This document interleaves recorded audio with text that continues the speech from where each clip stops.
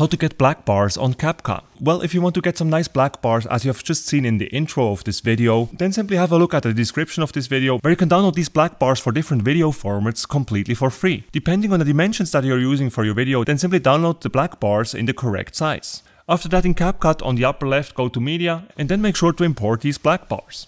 Once you've done that, left click and drag them down to the timeline and make sure that they are placed on top of your main video footage. And just like that you will get black bars in CapCut. If you would like to have some nice fading effect for these black bars as was the case in the intro of this video, then here's how you do that. First of all, make sure that the playhead is situated at the very beginning of your video. Then make sure that your black bars clip is selected. With the black bars clip selected, then in the upper right corner of the screen, Make sure to scale up the black bars clip so that the black bars are not visible anymore. Then click on the keyframe button on the right side.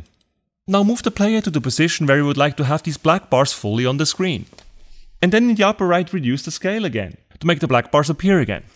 You will then notice in the timeline that another keyframe has been set for us.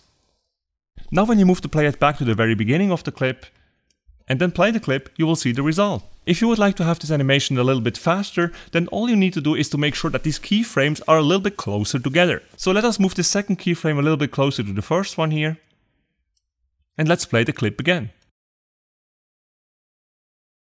Perfect, and this is how you get black bars, also known as letterboxing on CapCut. If you enjoyed this video, make sure to smash a like button and subscribe to the channel for more CapCut tutorials.